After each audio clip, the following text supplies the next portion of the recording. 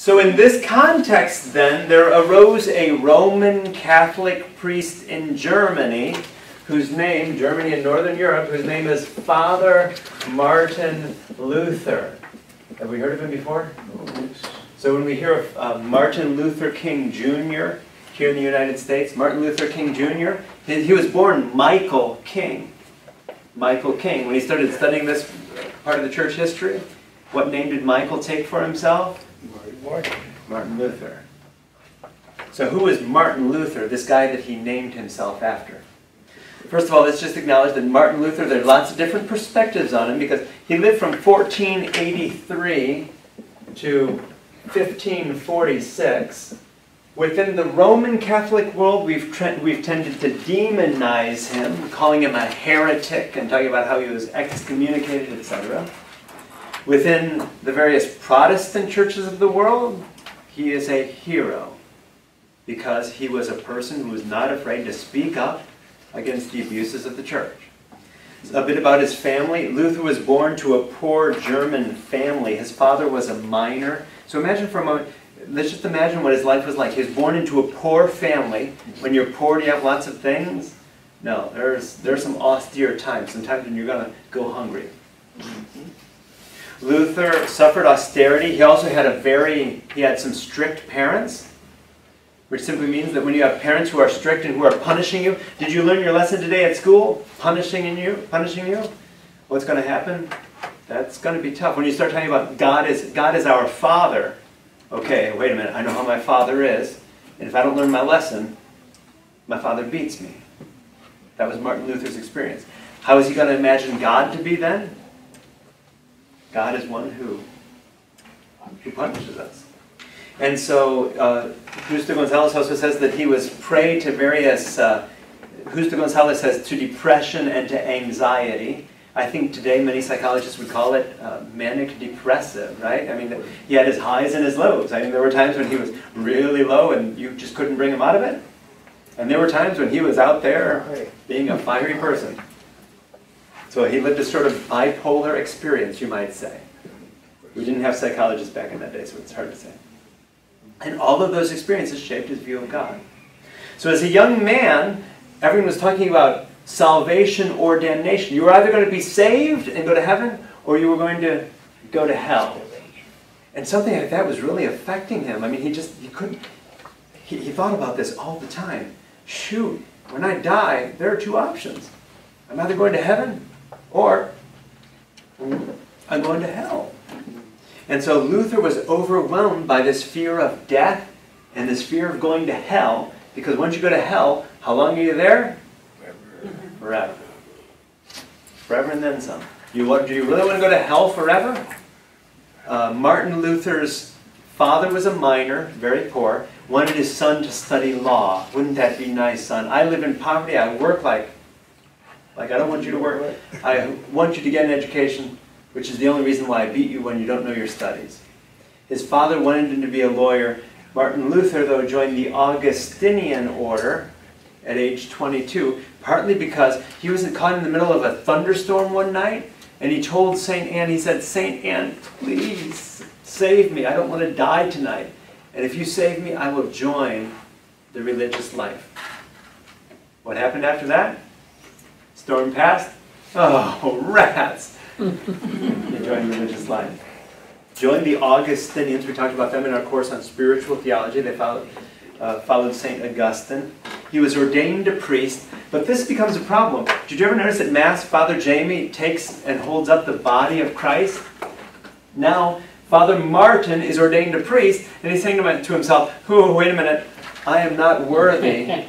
I am not worthy to hold the body of, of Christ in my hands. I can't do this. I can't do this. And that's just the beginning. He felt himself unworthy. He thought to himself that neither good works nor confession, the celebration of reconciliation, could justify him before God. Even if I go to Mass 10 times a day for the rest of my life, how can that make up for my sins? If I go to confession, I'll confess most of my sins, but then I come out and I remember a sin that I didn't confess. Can you imagine living in his skin? So he went to a spiritual director. You know, as many of us as priests, we have a spiritual director, a person that we go to be able to share what's happening in our hearts and in our lives. He went to a spiritual director and shared all this and said, you know, I think I'm going to hell. I can't even hold the body of Christ, and I'm a priest, and I go to confession and I think of the sins that I committed. He's sharing all this with his spiritual director, and his spiritual director says, Why don't you read the mystics? Remember, uh, Justo Gonzalez had a chapter on the mystics. How it is the, the mystics focused on God's love. Not about God who's going to beat you and punish you, it's about God who loves you. With the love of a father. Ooh. So Martin Luther now has this challenge because how do you love a God? Okay, so I'm just supposed to love God. That's what you're telling me? I'm supposed to love God? A God who condemns people to hell? He said, I hate that idea. I hate the idea that I could go to hell one day, and I cannot love a God who could send me to hell. It's like loving my abusive father who's punished me my entire childhood. That's hard to forgive. How do you love an abusive, punishing God? who can send you to hell. And so Luther ended up concluding that he did not love God, he hated God. Here he is, a Catholic priest, serving the church and saying to himself, I hate God. In an age before atheists, right? Before people said, I don't believe in God, his response was, I believe in God, but I hate God. I hate God and this whole idea of who God is, damning people now. So what do we do with a priest who's having a, a crisis like that, right? If a, uh, if a priest comes, Father Libardo comes to us and says, I want to be a priest, but I am really having some difficulties in life. what do we do with him? Do we name him pastor? so what did they do? They sent Father Martin off to teach scripture at the university. Teach. So, so here he is at the University of Wittenberg, where he's teaching scripture and suddenly his eyes were open because he's teaching the book of Romans. And listen to the, to the words of, the, of Romans, chapter 1, verse 17. What does St. Paul say in the book of Romans? In the gospel, the righteousness of God is revealed. A righteousness that is by faith from the first from first to last, just as it is written, the righteous will live by what? And from that time on, we have this dichotomy between faith and works. Are you justified? Are you saved? Are you saved by your works? By how many times you go to Mass? And by how many rosaries you pray? And by how many times you fast on the Fridays of Lent? Are you earning your own salvation? Or does your salvation come through faith? Does it come from God? Are you earning it? Or is it something that God gives you? And what did he conclude? He concluded the good news is it's not something I have to earn. It's something that God is going to give me or not. Something that God's going to give me or not. So he interpreted that this justice or righteousness, when, he, when we talk about the righteous, what makes them righteous? It's something that comes from God. We call it grace. So if you're justified by faith, that's because of grace, because of God. And so he came up with this doctrine of justification by faith. It's God's grace that's going to send you to heaven or send you to hell. So faith and justification are free gifts from God to sinners like us, and Luther was well aware of his sins. And so you don't have to hate this justice of God, of this God who can send you to hell, because God gives the grace for you to be saved if you're going to be saved. If you're going to be saved, that grace comes from God. It's nothing you can earn. You don't have to go to Mass to earn it. You don't have to stay on your knees all night long praying. If you're going to be saved, it's going to come from God. So Luther, because he's teaching Scripture and he's reading those lines and he can't believe what he's reading, he starts talking about this to all the other professors at Wittenberg. And they start scratching their heads and saying, you know, I think you're on to something. It's probably not about me praying the rosary three times a day to earn my salvation. If I'm going to be saved, it's going to come from God. And so Luther wrote 97 theses, 97 points that he wanted to debate at the university.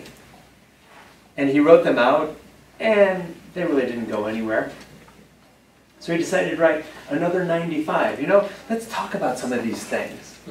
What were the second 95 about? They were about indulgences. Remember what indulgences are? Buying time out of purgatory? Let's talk about purgatory here at the university. Who? those were popular. Why? He wrote them in Latin so that they'd be discussed at the university. They translated them to German. We had the printing press. What does that mean? You know what? I just translated his theses into German. Let's, let's make copies of them tonight at the printing press, and we're going to get them all out all around the town, and suddenly everyone is reading about what he said about indulgences in German, in their own language. Was he saying good things? Oh, we don't even have to go there, do we? So we remember that indulgences, you know what happens with indulgences? Indulgence is a way of making money, right? Is the priest who makes that money going to keep the money to himself? If Father Jayme starts selling indulgences, is he going to keep it all to himself? I have a feeling there are other people who are going to want a cut of the profits, right? Archbishop Johnson, he sent me an email last night. Dear Father Jayme, beginning on August the 4th, 2015, you are authorized to sell indulgences at Holy Family Please remit 50% of the earnings oh. to my office. Imagine that for a moment. A lot of people profited off the sale of indulgences. Martin Luther just wants to ask some questions now about these indulgences. I'm a priest, I could sell indulgences. Should I be selling indulgences like my brother priests? Father Cleophas. You should see the money he's raking in from selling time out of purgatory. So, he was attacking the, this, this uh, source of income that was authorized by Pope Leo X, who was still alive, who he perceived, and Justo Gonzalez says that Leo X was a corrupt, greedy, lazy pope. Ooh, those are not exactly the most desirable qualities to look for in a pope. He was a corrupt, greedy, lazy pope authorized the sale of time out of purgatory. Leo X, a bit of background on him. Okay, you want to be the Archbishop of Mainz in France? I'll sell that to you for 10,000 ducats. Sold it. Sold to the highest bidder. Um, so he sold that to Albert of Brandenburg, who already had two, that should say two bishoprics. So he's already the bishop of two different places. Now he bought being the Archbishop of of Mainz as well. And the Pope, Leo X, allowed Albert to announce the sale of, of, of indulgences in his territory because it cost him 10,000 ducats. You want me to pay 10,000 ducats? Your Holiness, with all due respect, that is crazy. Yes, I want to be Archbishop, but it's not worth 10,000. That's crazy. What did, what did Pope say? I've got a plan. What if you are archbishop? You sell time out of purgatory, and we split the profits. You can use it to pay for your buying of the archbishopric, and I can use it for my own purposes. And so, what happened in that, in that, then beginning in 1514, let's follow the timeline now. In 1514 now, I, in my area, in Mainz, can sell indulgences. I'm splitting the profits 50-50 with the Pope, and we're both making good money. Uh, the good thing for the Pope is that, I mean, the Pope didn't have a lot of money at this point. Why? Because of the great schism, right? We had this division between France and Italy. We had the warring inclinations of Renaissance, Renaissance popes, these popes who were always going off to war. Remember the Crusades? Okay, they were financing war like the U.S. going into Iraq, paying what were we paying back at that time? Like a billion dollars a day. The popes were financing wars, and were left without money. Ooh, the selling of indulgences sounds like a good idea. also, Pope Leo X, his predecessor Julius II, the warrior pope, or the fearsome pope, in 1506, he began building what he hoped would be the biggest church in the world. Do you remember that? His dream, Julius II, a Franciscan, had this dream. As Pope, I will have the biggest church in the world. Leo comes along. They started building the biggest church in the world, but we have no money to build the biggest church in the world. How are we going to raise money for the biggest church in the world? Albert, Archbishop Albert, come to my office, right? What if you sell indulgences in your territory? Let's do a pilot. You sell indulgences, send half to us so that we can build our church with the money from indulgences. Good idea? Note the irony then. The biggest church in the world, St. Peter's Basilica, was built using what money? Money from indulgences. And it's that issue that would split the church. Had it not been for the desire of those popes to build the biggest church in the world, I want to build the biggest church here in my backyard. What's it going to take? Well, let's, let's do this scheme, Father Cleophas. You sell indulgences, send 50% my way, I'll build my church, you get whatever you want. The deal was struck, and that ultimately would lead to the division of the church. That was in 1514.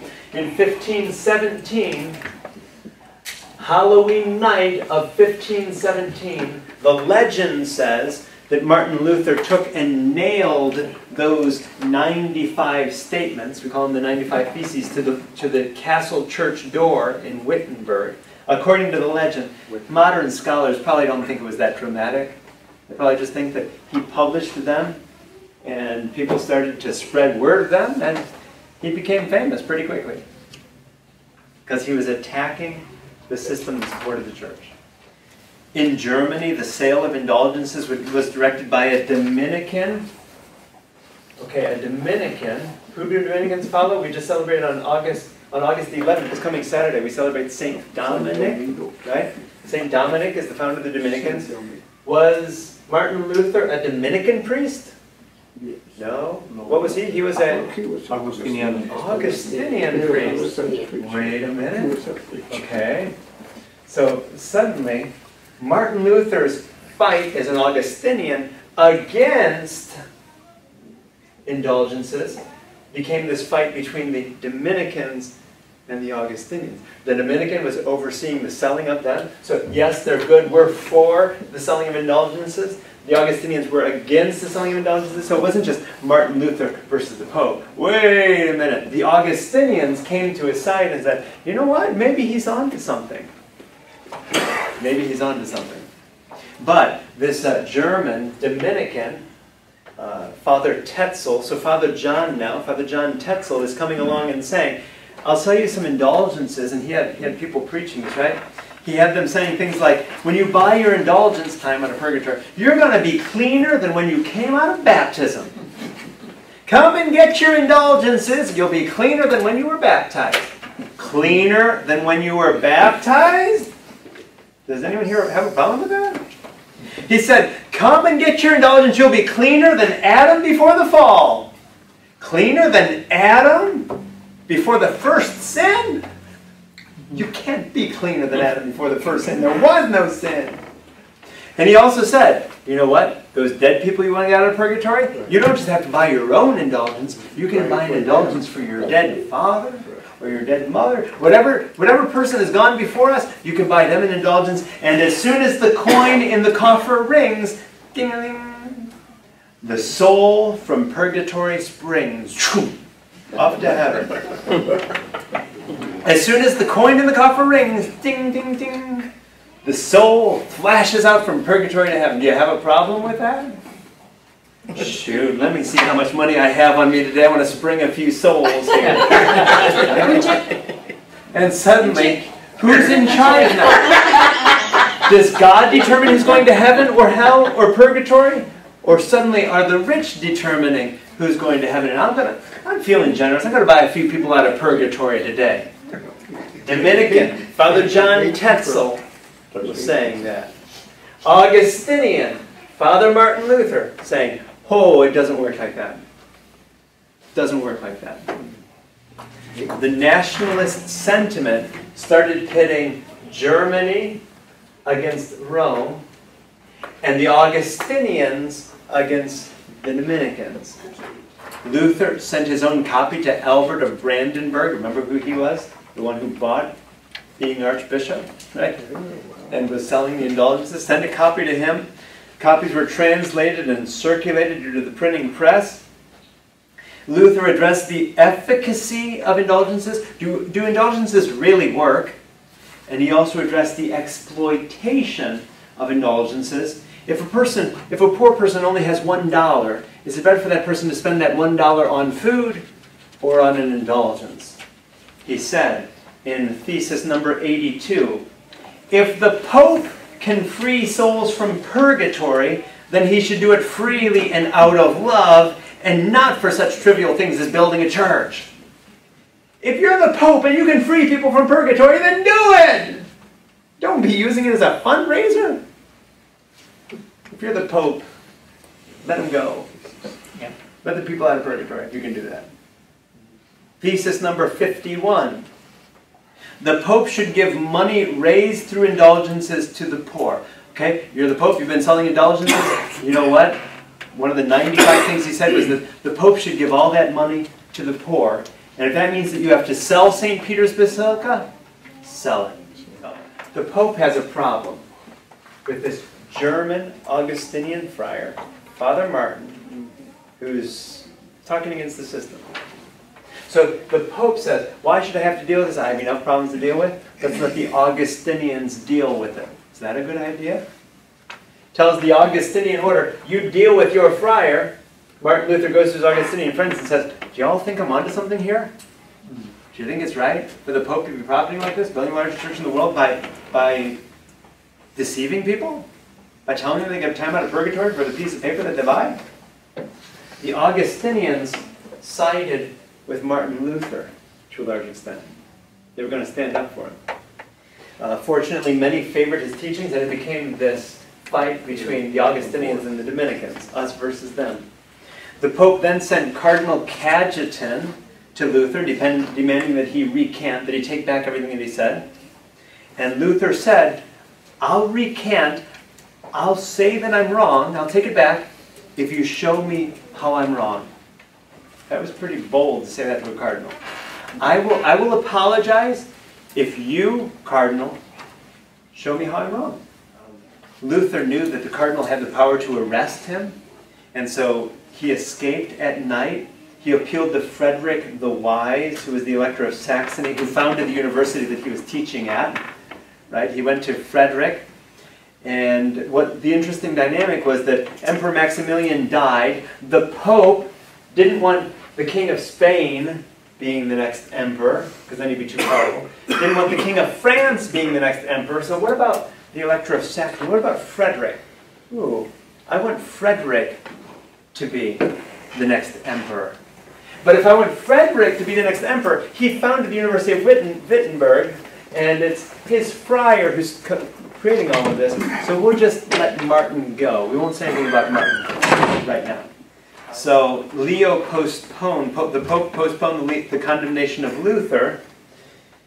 Luther agreed to abstain from controversy. He said, okay, I'm not going to argue or talk about these things so long as your other people don't either. What happened?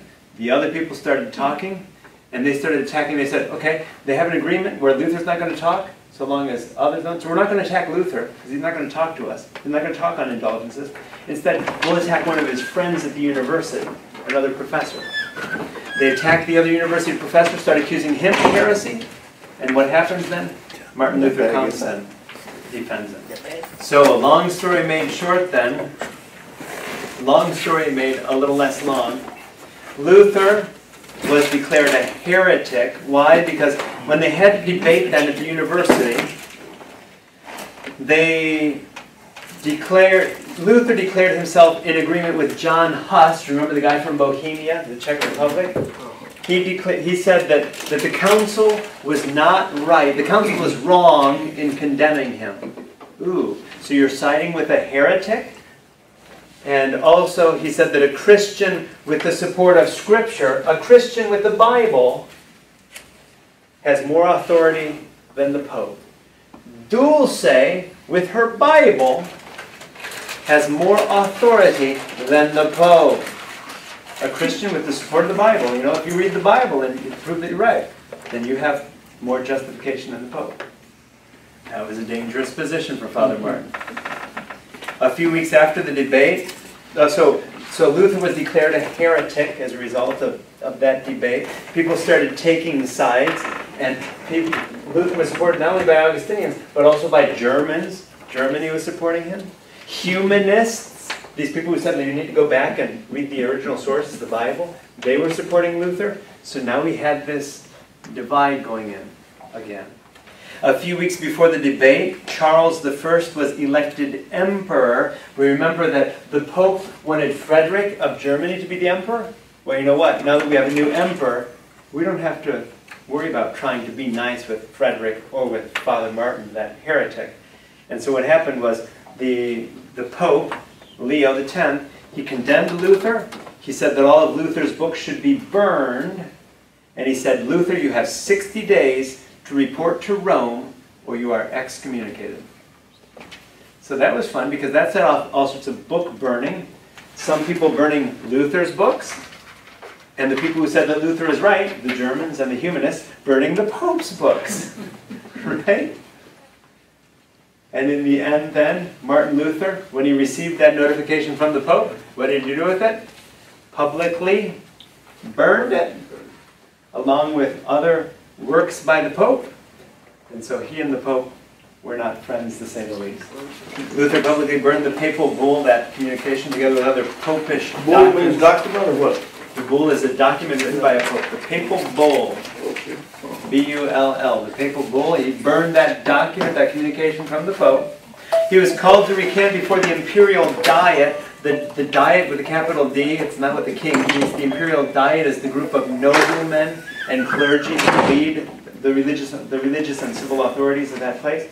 So the German authorities, Martin Luther appeared them before them in 1521, following the timeline now. Four years later, he's now appearing before them, and he's, they're holding him accountable for what he said.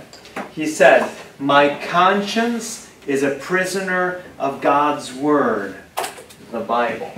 If the Bible says it, I have to do it. If it's in the Bible, we follow it.